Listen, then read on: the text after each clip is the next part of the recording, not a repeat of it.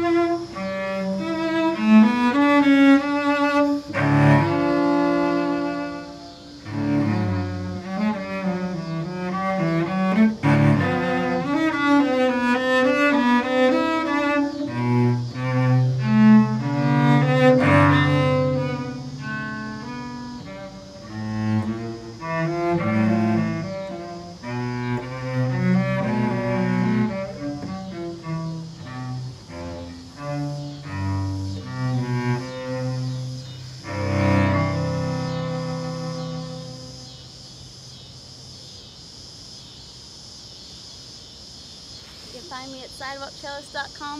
That's C E L L I S T. My name is Clara.